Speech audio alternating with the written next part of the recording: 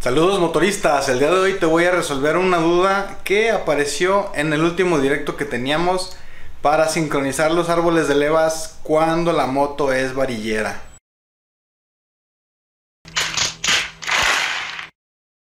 No es nada del otro mundo, no es muy complicado, pero hay varias formas, hay varios sistemas, se puede decir. Entonces aquí te voy a presentar una buena variedad para que te des un buen, una buena idea de cómo puede ser en tu moto.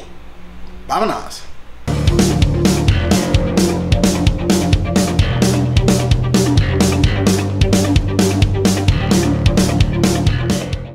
Eh, como te lo digo, no es muy difícil, pero pues sí hay que fijarse muy bien porque donde lo dejes mal, aguas con esa madre. Puede llegar a pegar la válvula con el pistón y adiós. Te presento varias formas, vamos a verlas.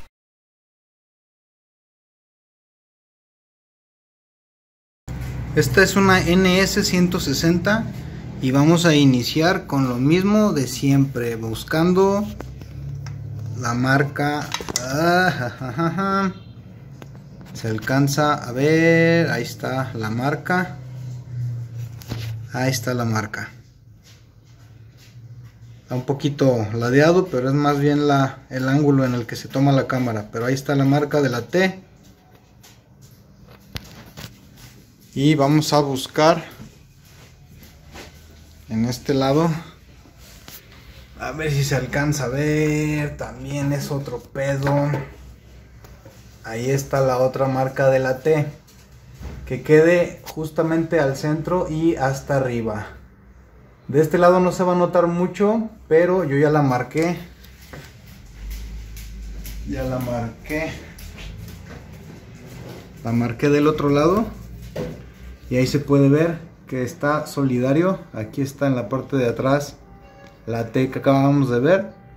Y está apuntando hacia el centro de la cabeza. Este motor así se sincroniza el árbol de levas.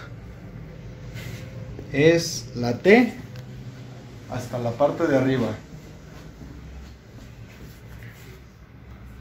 Mm.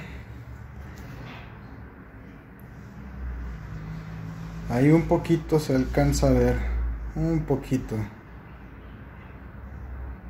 debe de quedar alineado con el centro Así se sincroniza la NS 160.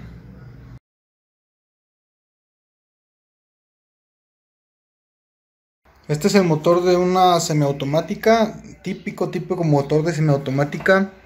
Este es de una AT110. Y aquí volvemos a las mismas, las mismas señas. Déjale quito el flash a ver si se ve mejor. Ah refleja mucho la luz pero bueno aquí está. Esta es la marca de la T más o menos ahí se ve que debe de asomarse por aquí. A ver si le ponemos el flash. Ahí está la rayita. Si vemos está más o menos aquí de nivel. Y este está pues más o menos más o menos. De hecho creo que está un par de graditos movido pero bueno. Es el mismo procedimiento poner la T en la marca o en la parte superior y en el árbol. De levas este modelo en específico trae ese puntito y ese puntito debe de coincidir con esta marquita esta esta marca pequeñita.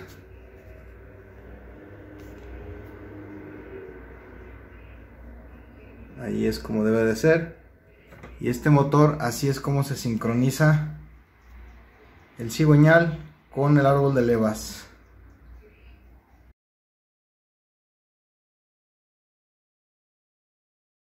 Aquí vamos a ver otro ejemplo, esta es una Itálica B200 y para empezar pues lo primero de todas es buscar buscar la marca, la del top, la T, como cuando vamos a calibrar punterías igual.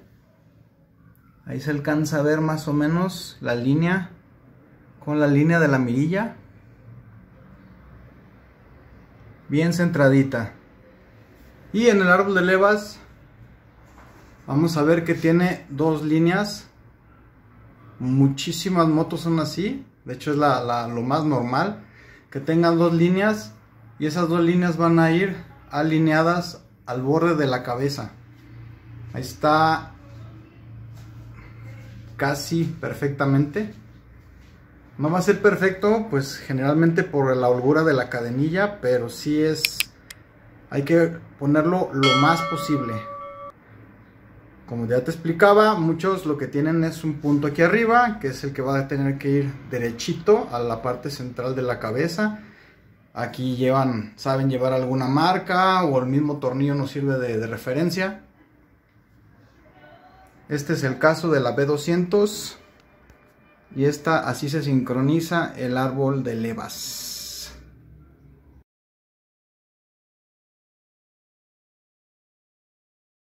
Aquí tenemos una Twister 125. Vamos a hacer lo mismo, lo mismo que en todas, más o menos lo mismo. Vamos ahí a buscar la T. Que eh, medio se ve, medio no se ve. ahí está.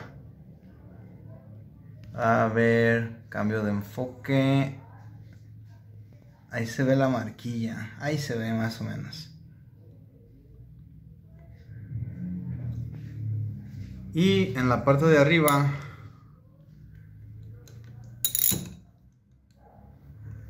ah, estoy viendo que me pasé. Ahí lo regresamos.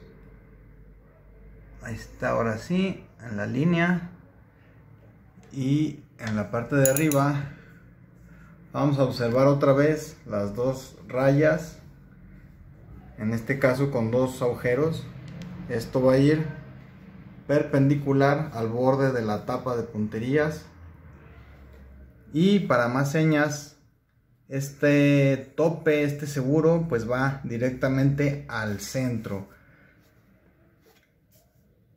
no es nada del otro mundo. Bastante bien señalizado. Y ahora sí que pues puro sentido común. Marcas perpendiculares a la cabeza. Seguro hacia arriba. Y otra vez la famosísima T. Que aquí no se distingue muy bien, pero ahí, ahí más o menos está. A la pura mitad. Twister 125.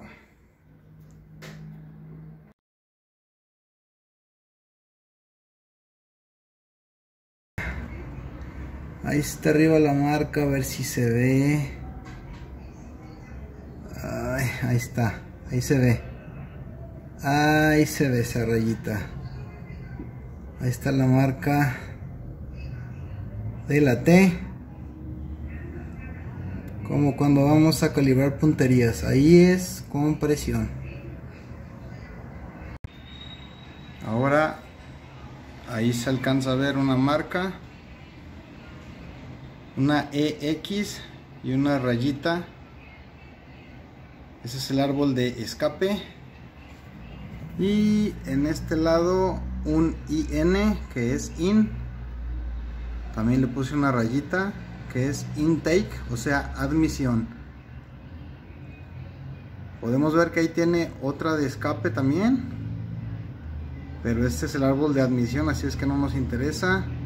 Acá hay otra con otra línea que nos puede de repente sacar de onda. Vamos a buscar la línea en el árbol de levas de admisión. Vamos a buscar la línea que esté pegadito con admisión y la vamos a alinear al borde de la cabeza. Ahí está. Y en escape lo mismo. Ahí está más o menos marcado. Ahí está más o menos en el borde.